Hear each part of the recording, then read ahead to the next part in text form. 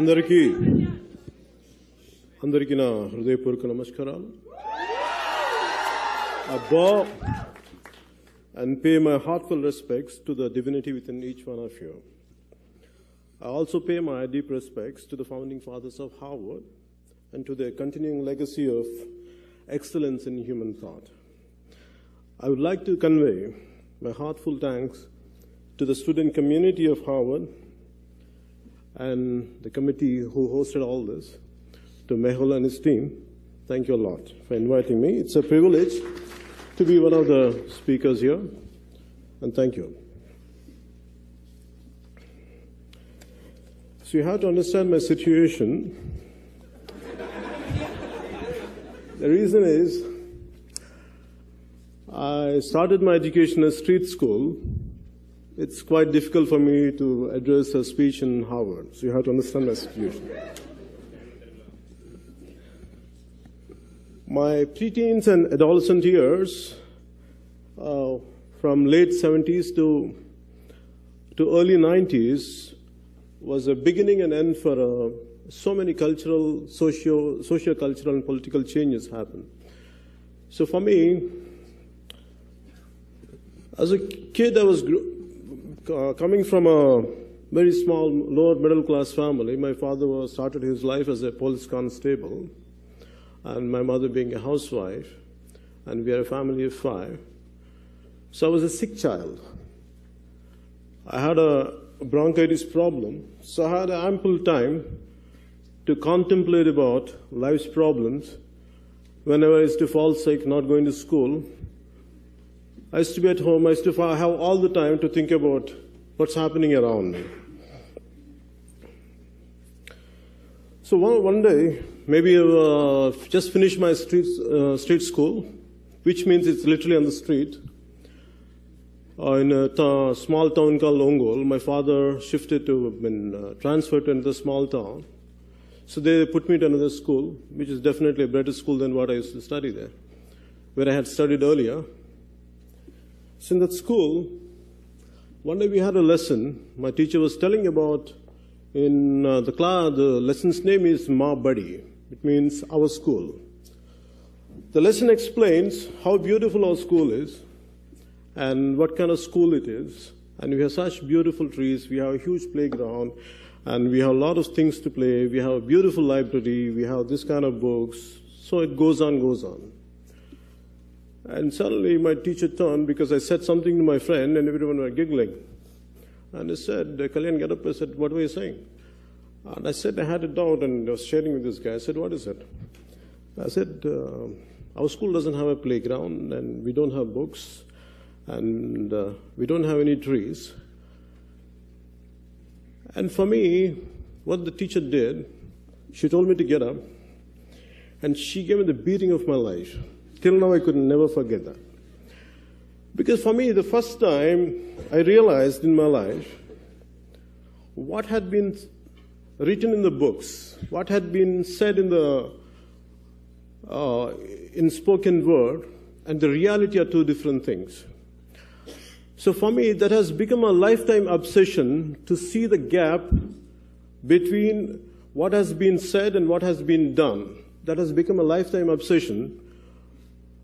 So till now, my obsession is even in the political manifesto, it's still not manifest. What they promise and what, the, what they deliver are two different things.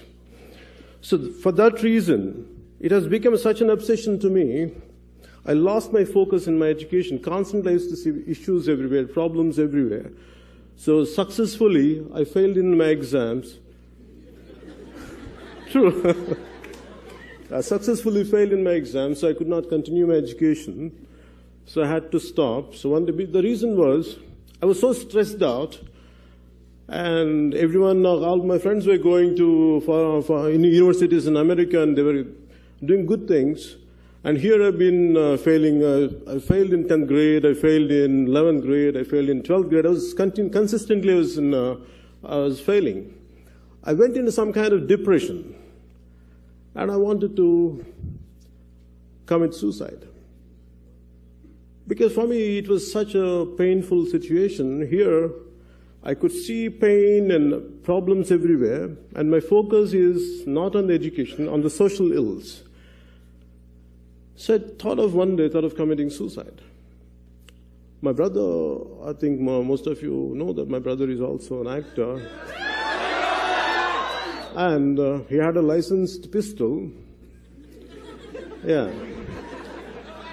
So I thought of uh, taking his pistol. I want to kill myself for the humiliation, for I'm not able to live up what my promise, what my parents had taught of me to become something. There was a pain I had. So luckily, someone I said to my one of my family members, and they hold me somewhere. They counseled me, and they somehow I could not go ahead with that. And later, I had given up my education, and somehow I started uh, doing whatever I could do. Maybe I was experimenting with my life after that. I went into a different kind of uh, education. I mean, I did my computers and I went into yoga, I did a lot of martial arts and everything. I was continuing like that. For me, as we all know that, every individual is a product of his time and environment. This was my environment I grew up. So finally, What annoyed me or what irritated me was to come into politics after being an actor. For me, to get into acting in the first place, I was not at all interested in acting. I wanted to be a yogi.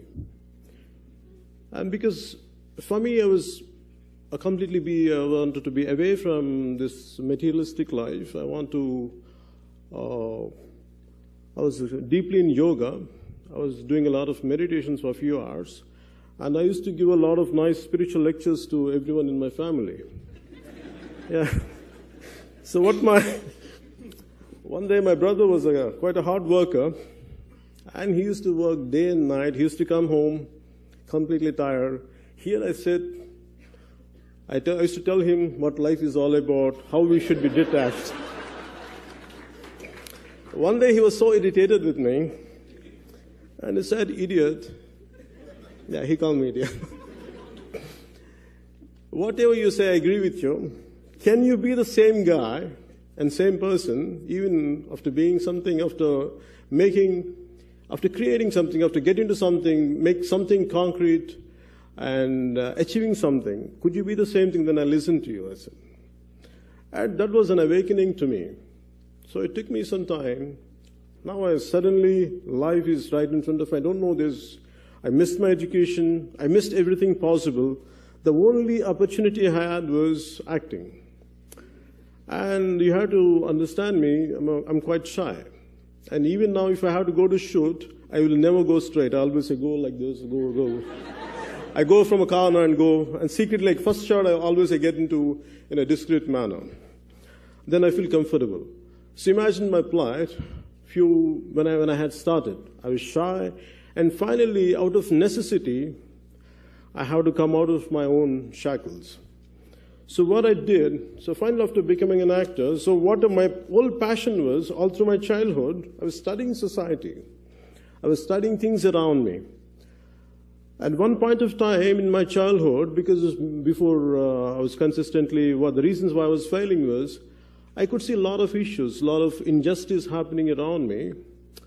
I wanted to uh, get into some kind of extremist outfits like uh, Naxalites and all. My brother was uh, very worried about, about my future.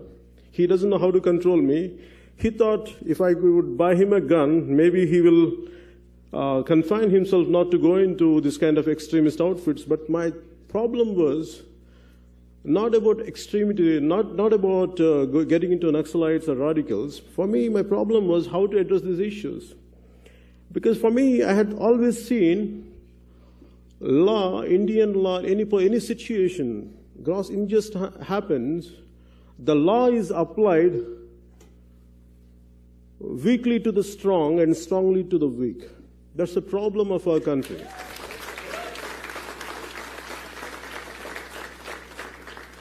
So for me, somehow I was very upset.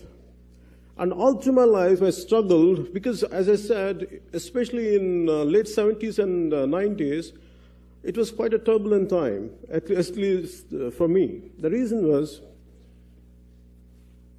I wanted to embrace an ideology, and here we had capitalism one side, and still communism is, was quite active then, and Union of Soviet Socialist Republic is still, was still active. And for me, my father comes from a communist family, and he was a hardcore communist. My mother is a deeply religious. And my father, uh, like any other, most, like uh, any other Indian communist, I don't know, definitely my father, like other communists, I don't know, but, but my father was also a great devotee of uh, uh Swami Vivekananda and uh, Ramakrishna Paramhamsa. So the contrast of communism and uh, Swami Vivekananda teachings used to be right in, in my home. It used to be quite confusing for me. So I don't know which one to embrace. So I was to wonder what kind of ideology is needed for me to, to go ahead and to, to go ahead. That I had these problems. So for me, as I was going ahead, after I had become an actor, and finally I thought I could not do all this, so let me at least in my films, let me project what I have, what I feel about society. So once in a while, when I get an opportunity, I used to uh, convey through my films and songs that after, uh, for an extent, but it did not give me enough satisfaction.